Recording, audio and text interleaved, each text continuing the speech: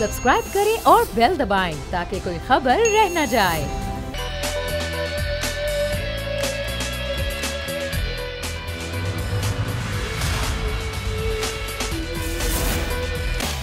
बिस्मिल्लाहिर्रहमानिर्रहीम अस्सलाम वालेकुम प्रोग्राम में मैं सुमैया रिजवान आपको खुश आमदीद कहती हूँ।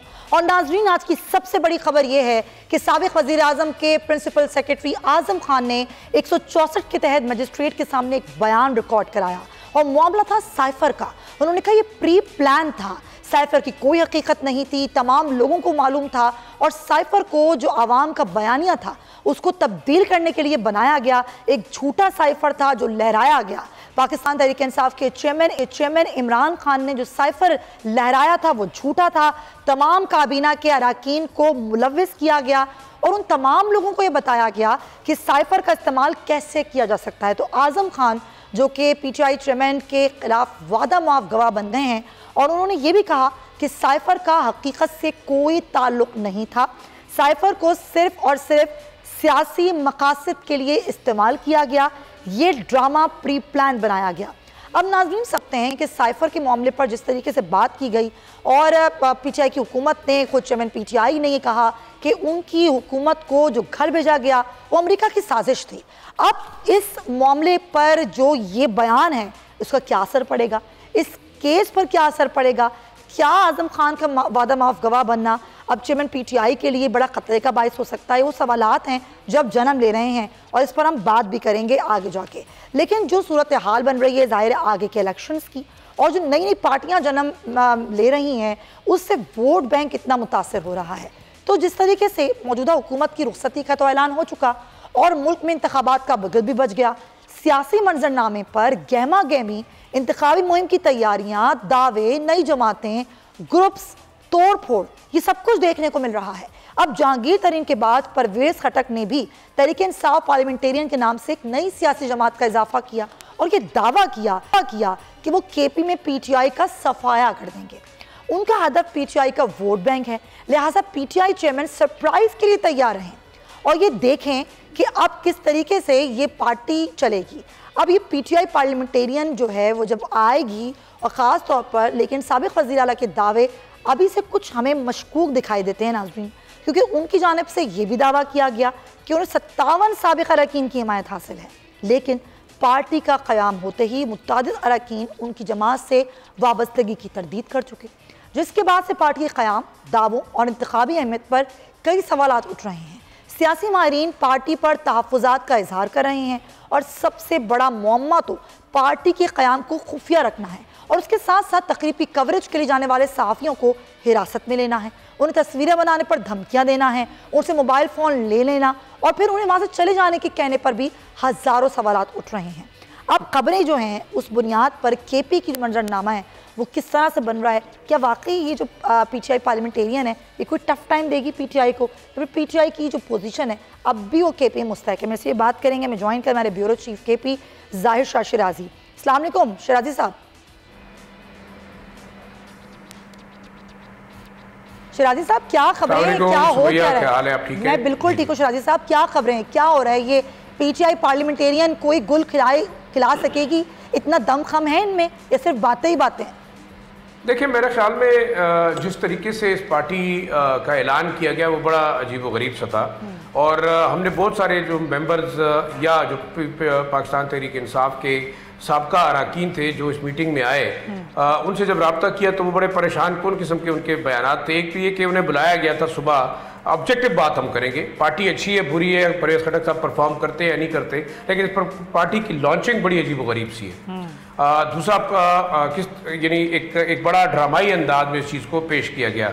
कुछ मेंबर से मेरी बात हुई तो उनका ये कहना था कि आज सुबह उनको एक मीटिंग के लिए बुलाया गया कि जी आ, जो सबका पार्लियामेंटेरियंस थे उनसे बातचीत की गई और उसके बाद कहा गया कि आप जो है ग्रैंड शादी हाल है जो कि चमकनी में वहाँ इकट्ठे हो रहे हैं वहाँ एक और मीटिंग होगी। अच्छा। तो बहुत सारे मेंबर्स ऐसे हैं कि जिनको नादानिस्ता तौर पर वहाँ भिजवाया गया या कुछ को लाया गया। बाद ऐसे भी अरकान थे जो कि जेल से बाकायदा उठा के इनको इस ग्रैंड हॉल में लाया गया और फिर आला पर सडन बकौल इन मेंबर्स के, इनमें अनवर जेब खान से हमारी बात हुई, बल्कि उन्होंने एक वीडियो मैसेज भी जारी किया।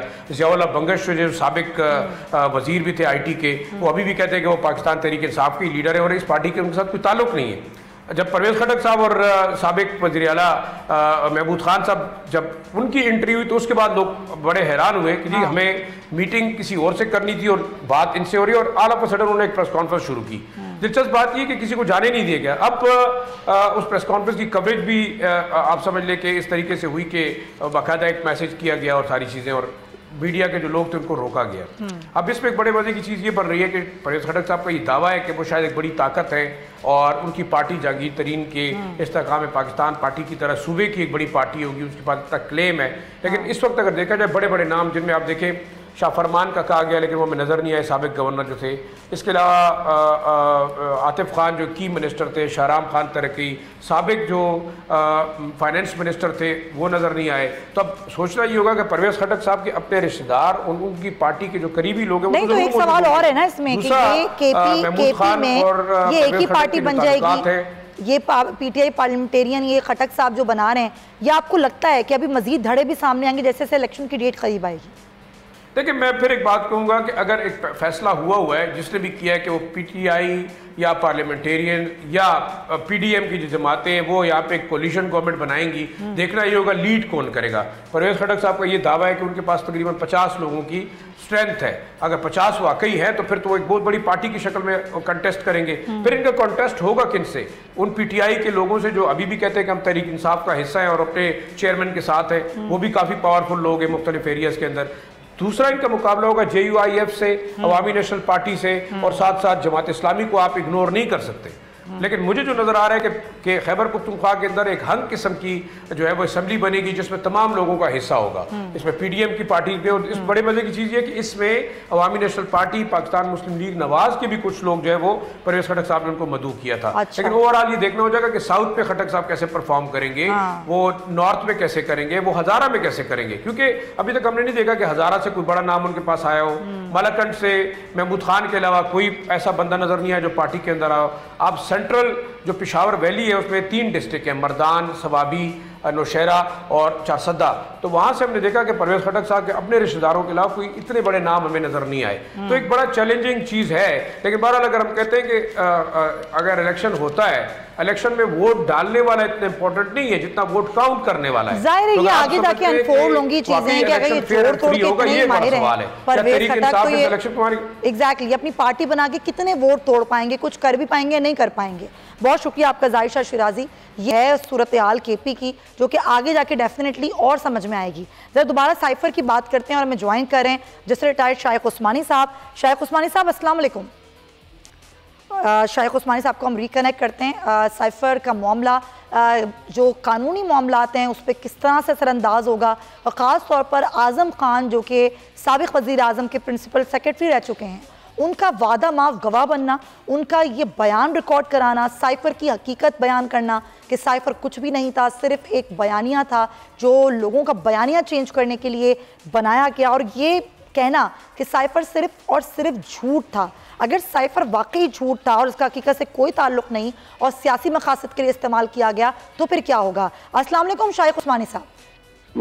वालेकुम शाइख उस्मानी साहब आप किस तरह से देखते हैं? आज़म खान अगर वादा माफ़ गवाह बनकर सामने आ रहे हैं और वो ये बयान रिकॉर्ड कराते हैं कि इस साइफर की कोई हकीकत नहीं थी सिर्फ़ झूठ का पलंदा था तो ये किस तरीके से असरअंदाज हो सकता है इनके केसेस पर?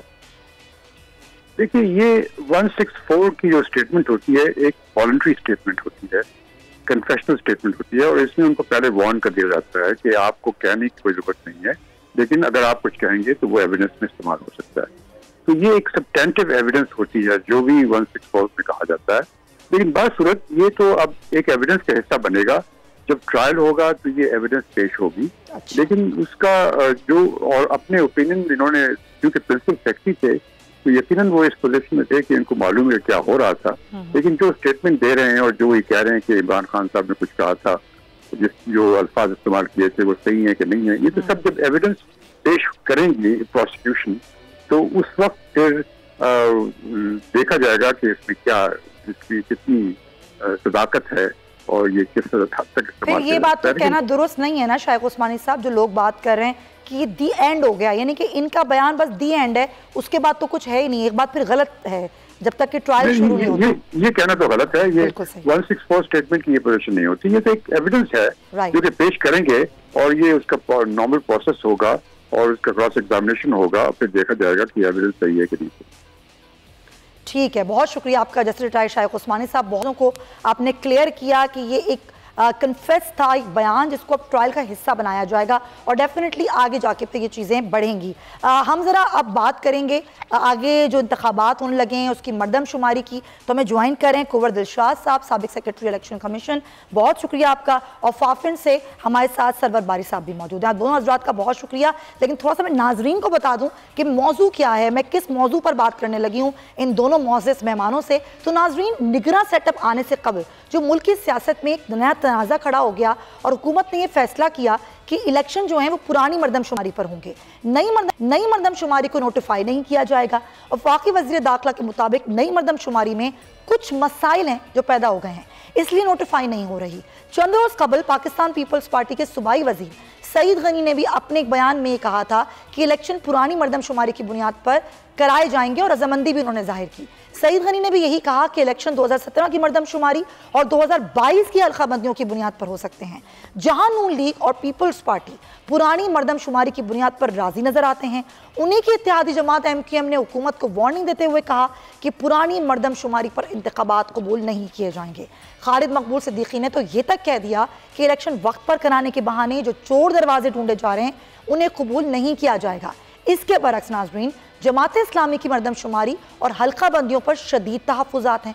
अब सवाल यह है कि डिजिटल के बजाय पुरानी मरदमशुमारी के तहत इलेक्शन का इनका का फैसला तकनीकी मामला है या फिर सियासी मुदाखलत है? और नई मरदमशुमारी के मुताबिक इलेक्शन के इनका में तकनीकी मसाइल ज़्यादा हैं या फिर सियासी? इसी बात खास करें हम कंवर दिलशाद साहब से। कंवर दिलशाद साहब वालेकुम। अच्छा हमारा रबता मुनता हुआ है। हम सरवर बारी साहब से बात करते हैं। सरवर बारी साहब सलाम ज़रा बताइएगा, सर, ये जो पुरानी मरदमशुमारी पर इलेक्शन कराने का कह रहे हैं तो फिर ये कैसे होंगे? पुरानी मरदमशुमारी पुरानी हल्का बंदियाँ तो वो लोगों की गिनती, फिर जो नए लोग शामिल होने थे वोटर लिस्टों में, फिर वो तो नहीं हो पाएँगे। फिर कौन मानेगा इन नतज को? पहले तो मैं तस्दीक कर दूँ, मैं फाफन को रिप्रेजेंट नहीं कर रहा हूँ, मैं पतन को रिप्रेजेंट कर रहा हूँ। तो दूसरी बात जहाँ तक ये है कि मरदमशुमारी मरदमशुमारी या फर्द शुमारी की बात हम करते हैं 2017 के जो हमारे नतज थे उसी की बुनियाद पर 2018 के इंतबात हुए और अभी जो है आ, आ, ये कहा जा रहा है कि जो अभी डिजिटल जो है सेंसस हुआ है इसकी बुनियाद पर नहीं होंगे। पिछली जो फर्द शुमारी थी उसी की बुनियाद पर इलेक्शन होंगे। तो बुनियादी वजह यही है एक तो वजह है कि जो जो फाइनेंस की एलोकेशन होती है, सूबों को, वो आबादी की बुनियाद पर होती है।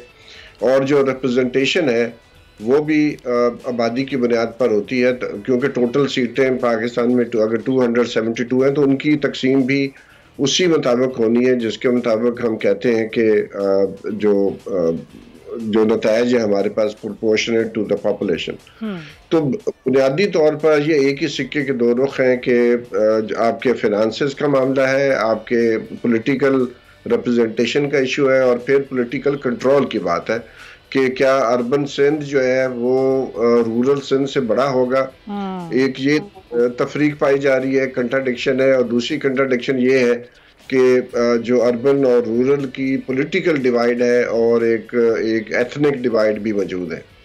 तो बुनियादी तौर पर मेरा यही ख्याल है कि जो झगड़ा है वो बहुत अरसे से चला आ रहा है। हम्म। और वो झगड़ा बुनियादी तौर पर वहाँ पर है जो इस वक्त कोलेशन गवर्नमेंट है। उसमें एम है उसमें पीपल्स पार्टी भी है और पीपल्स पार्टी के ऊपर जो सिंधी कौन परस्त कुतें हैं उनका दबाव भी होता है एक सियासी दबाव भी है। हम्म। तो इसलिए मेरा अपना ख्याल है कि पीपल्स पार्टी चूँकि बड़ी पार्टी है एम क्यू एम की नस्बत तो ज़ाहिर है पल्ला भारी भारी जो है वो पीपल्स पार्टी का लगता है। इसलिए जो फैसला किया गया है कि 2017 की मरदमशुमारी फर्दशुमारी की बुनियाद पर हम इंतबात करवाएँगे। ठीक है। तो मेरा अपना ख्याल है इस, इस इसके बाद जो है वो एक एक कन्फ्यूज़न भी क्रिएट की जा रही है। अरबों रुपए खर्च कर दिए हमने इस हाँ। मर्द फर्दशुमारी के ऊपर। हमारी इतलात इतलात के मुताबिक एक और वजह भी है टेक्निकल वजह है कि जो वो सेंसस है डिजिटल वो प्रॉपर तरीके से नहीं हुआ। अगर इस्लामाबाद में और यही बहुत सारी सियासी जमातों के साथ है कि इस्लामाबाद में सेंसस जो है सही नहीं हुआ। इसलिए उनके नतज को जारी करने में भी, भी हुकूमत हिचकिचा रही है। बिल्कुल आप सही फरमा रहे हैं। और सर मैं भी तस्वीर कर दूँ कि सबक सरबरा फाफी नहीं आप। यही हमने कहा था। खैर आगे बढ़ते हैं। कुंवर दिलशाह साहब आपको मेरी आवाज़ आ रही है? जी आवाज़ आ रही है। जी कुंवर साहब ये अरबों रुपए खर्च करने के बावजूद पुरानी मरदमशुमारी पर इलेक्शन होंगे नए लोगों को नहीं गिना जाएगा वही पुरानी अलका बंदियाँ होंगी। तो सर ये तहफात तो वैसे ही रहेंगे। फिर ये इनको दूर कैसे किया जाएगा अगर पुरानी ही मरदमशुमारी और पुरानी अलका बंदियों पर इलेक्शन होने? देखा जी मरदम शुमारी को हमेशा कंट्रोवर्शियल होती रही है। जब भी पाकिस्तान में उन्नीस सौ इक्यासी के बाद उन्नीस सौ इक्यासी में मरदमशुमारी हुई उस पर भी बड़े ताफात थे जो उस मार्शल लगा हुआ था तो वो खामोशी इख्तियार हो गई। और इसी तरह जो 91 में मरदमशुमारी होनी थी वो नहीं हुई। वो 98 में मरदमशुमारी हुई। तो उस पर ताफात अभी नज़र नहीं आ रहे थे कि जनरल परवेज मशरूफ साहब की हुकूमत आ गई। हम्म। तो वो जो खामियाँ थी मरदमशुमारी की वो दब गई। अब उसके मुताबिक फिर ये दो हज़ार दो के जो इलेक्शन हुए उससे पहले भी बंदी करवाई। इलेक्शन में पाकिस्तान में उस पर भी कुछ ज़्यादा ठीक है आपकी डिस्ट्रॉशन भी आवाज़ में आपकी बात को मैं यहीं से कंटिन्यू करूँगी। एक ब्रेक लेती हूँ दोनों मेहमान मेरे साथ मौजूद हैं।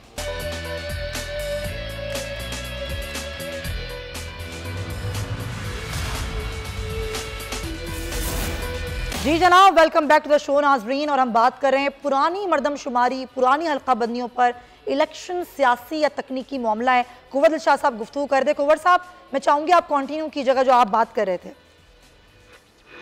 मैंने अर्ज़ किया आपसे आपसे कि जो मरदमशुमारी जो है, ये तो पाकिस्तान में हमेशा ही मुतनाज़ा हुई। उन्नीस सौ इक्यासी इक्यासी में मरदमशुमारी हुई। इसके बाद वो 91 में मदब शुमारी लाजमी होनी थी मैंडेटरी थी लेकिन उस वक्त की हुकूमत ने नहीं करवाई। फिर ये 98 में 19 साल के बाद मदब शुमारी हुई।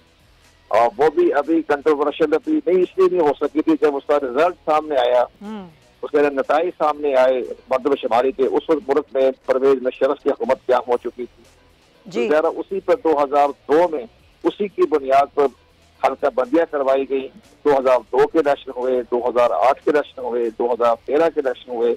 तो ये जो मामला होता है ना, ये मर्दर शुमारी की पॉपुलेशन की ठीक है कि भाई लाजमी होती है मैंडेटरी है। लेकिन अब अगर किसी वजह से ये इसका रिज़ल्ट सामने नहीं आ रहा तो माजी में भी तो बीस साल के बाद ही रिज़ल्ट आते रहे ना। तो लेकिन हमें तो आगे बढ़ना है ना हमें माजी में नहीं रहना एक तो बात ये दूसरे ऐसे कौन से आईनी तकाजे होते हैं जो कि पुरानी मर्दम शुमारी के तहत ही इलेक्शन हो? नई मर्दम शुमारी के तहत इलेक्शन क्यों नहीं हो सकते? आइन में तो कोई ऐसा ज़िक्र नहीं है। अब पुरानी मरतब शुमारी हो या नई मरतब शुमारी हो इंतबात तो हो जाएँगे। जब जब नई मरतब शुमारी का गजट नोटिफिकेशन जारी नहीं होगा तो फिर पुरानी मरतब शुमारी के मुताबिक ही हल्का बंदी जो हो चुकी है हम्म। अगस्त दो हज़ार बाईस में। उसी की बुनियाद पर इंतबात हो जाएँगे। अच्छा। वो तो आइन में आर्टिकल फिफ्टी वन की पढ़े आप उसमें लिखा हुआ है कि लास्ट मरतब शुमारी का रिज़ल्ट तो लास्ट मरतब शुमारी का रिज़ल्ट अभी नहीं आया है गजट नोटिफिकेशन नहीं हुआ है तो फिर इलेक्शन कमीशन पुरानी मरतब शुमारी की बेस पर जो हल्का बंदी हो चुकी है अगस्त 2022 में उसकी बुनियाद पर इसी साल जो इलेक्शन होने वाले हैं तो वो इसमें वही हल्का बंदियाँ इस्तेमाल भी हो जाएगी। और वैसे तो कितना अरसा दरकार होता है इस सारे प्रोसेस के लिए? नहीं तो आईनी तौर पर तो जहर है बड़ी बहस करने के लिए आइन में तो बहुत कुछ लिखा होता है। हम्म, हम्म। लेकिन बहरहाल आइन ने बाकी भी ताफज दिया हुआ है कि अगर किसी वजह से ना हो तो फिर आइन का आर्टिकल टू फिफ्टी फोर भी तो मौजूद है ना? कोई बात नहीं। आप अपने आइन के मुताबिक करवा लें। हम्म। ये खिलाफ वर्जी नहीं है आइन इसकी खिलाफ वर्जी नहीं है। अच्छा। ये तो दरअसल इंतजामी कोताही है इंतजामी कोताही है कि मदर शुमारी का अभी तक जो नतज आए हैं और सिंध गवर्नमेंट ने बलूचिस्तान गवर्नमेंट ने उसको मुस्तरद कर दिया है। इन हालात में फिर वफाकी हुकूमत ने लाजमी तौर पर पुरानी हल्का बंदी पर इंतबात करवाने का अंदिया दिया है। ये सारे मामला आपके सामने सामने हैं। अच्छा ठीक है बिल्कुल एक तो ये मामला है। अच्छा आ, मैं आपसे बात करना चाहूँगी सरवर बारी साहब एक तो ये मामला है कि जिस तरीके से भी कुंवर शाह साहब बता रहे हैं कि आ भी जाएँ रिजल्ट्स भी आ जाएँ, कोई आईनी ऐसी दिक्कत नहीं है इसमें। हज़ार बाईस की जो हल्काबंदी है उस पर हो जाएँ। लेकिन इस तरह तमाम सियासी जमातों के तहफ़ात हैं, बहुत, बल्कि बहुत ऐसी सियासी जमातें एम क्यू एम और दीगर, जो कि ज़ाहिर इतिहादी भी हैं हुकूमत की। तो फिर उनकी हमत अमली क्या तरतीब पाएगी अगर इसी तरीके से इलेक्शन हो जाते हैं तो? देखिए, पहली बात तो कंवर साहब बिल्कुल सही फरमा रहे हैं कि पाकिस्तान में जो फर्दशुमारी है पॉपुलेशन सेंसस है, वो अगर हमेशा नहीं तो अक्सर जो है वो कंट्रोवर्शियली रहा है मुतनाज़ रहा है। और उसके ऊपर जो पाकिस्तान की अपनी तजादात हैं, हमारे समाज के अंदर, हमारी सियासत के अंदर, हमारी गवर्नेंस इतनी पुअर है कि जो रियाती अदारे हैं, वो रूल्स और रेगुलेशन के मुताबिक काम नहीं करते उनको इन्फ्लुएंस किया जाता है और उस इन्फ्लुएंस करने वाले को भी पता है कि वो भी कर रहा है और उसको ये भी मालूम होता है कि वो उसके जो मुखालफिन है वो भी अपना इन्फ्लुएंस यूज़ कर रहे होंगे हम्म। तो बेसिकली जो हमारी जो हमारी गवर्नेंस के मामला हैं वो चूँकि जो है खराब से खराब तर होते जा रहे हैं इसलिए जो कंट्रोवर्सी माजी में होती थी उसका उसका वो ये जो शिद्दत है जो इस वक्त है या जो 2017 से चला आ रहा है और अभी भी उसका हमें साफ़ नज़र आ रहा है कि ये सारी जो या तो 19 साल जैसे कंवर साहब ने कहा फर्दशुमारी नहीं होती और या फिर पाँच साल के अंदर दो दफ़ा हो जाती है हाँ। तो ये सारी चीज़ें कि आप आप दस साल के बाद दुनिया में रिवाज है कि दस साल के बाद किया जाता है टर्की में है वो दो तीन दिनों में जो है वो अपना सेंसस मुकम्मल कर लेते हैं हमारे यहाँ ये महीनों चलता रहा हाँ। और हम हमने कुछ जो न्यूमरेटर्स थे उनके इंटरव्यू किए हैं और बहुत ही खौफनाक बातें उन्होंने बताई हैं बस मेरे अपने घर में जी। ये मिसाल अगर मेरे घर में हो रही है कि उन्होंने जो टैप उनको दी गई थी डिजिटल नहीं कर रहे थे का, कापी पे लिख रहे थे और उन्होंने दो तीन सवाल पीछे पूछे और वो चले गए तो मैंने उनको इतराज किया मैंने कि आपने तो पूरी बात ही नहीं की हम्म। और आपने कापी पे आप नोट कर रहे हैं हार्ड हार्ड कापी पे। तो दैट शोज़ के और इसी तरह ये शहजाद टाउन है इस्लामाबाद में उस गली में एक पूरी गली में वो लोग आए ही नहीं है। अच्छा। तो मैं मैं समझता हूँ कि और बहुत सारे न्यूमिनेटर्स ने हमारे साथ शेयर भी किया है मैं नाम नहीं लेना चाहता हूँ। उन्होंने कहा है कि उनको ऊपर से हुक्म आया था कि हर न्यूमिनेटर डेढ़ सौ से दो सौ लोगों को अजाफी इसके ऊपर डाल दे। तो ज़ाहिर है अगर उन्होंने कापी इस्तेमाल की है और जो जो तो वो डिजिटल कैसे हुई? ये सही बात है ये तो वाकई बहुत ही वैलिड रीजन है कि जब आप तो, हार्ड कॉपी इस्तेमाल कर रहे हैं मुतमिन नहीं कर पा रहे लोगों को। पहले कहा था कि ये सिर्फ़ मामला पॉलिटिक्स का नहीं है लेकिन इसके अलावा मामला है कि जी, जी. जो क्वालिटी ऑफ़ सेंसस है वो बहुत ही गिर गिर चुकी है। उसके अंदर हर जो जो सियासतदान है हर जो पार्टी है हर जो एथनिक ग्रुप है उसकी कोशिश है कि वो हमारे सूबे के लोग नंबर ज़्यादा बढ़ जाएँ हमारी एथनिसिटी जो है उसके नंबर ज़्यादा बढ़ जाए। ठीक है। तो साहब बहुत शुक्रिया वक्त की कमी है मुझे एक ब्रेक लेना थैंक यू सो मच मैं दोबारा आपको दावत दूँगी। सबक सरबरा फाफिन सरबर बारी साहब और कुबर दिल साथ मौजूद थे आप दोनों हजरात का बहुत शुक्रिया।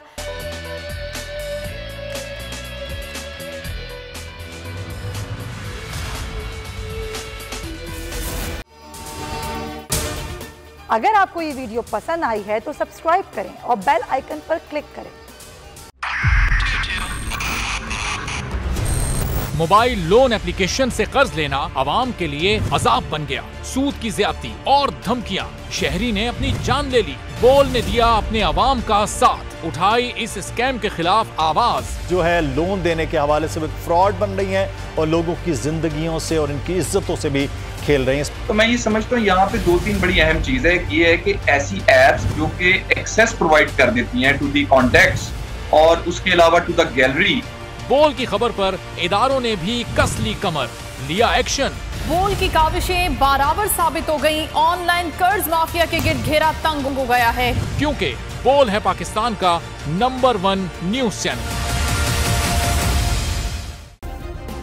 subscribe करें और बेल दबाएँ ताकि कोई खबर रह न जाए।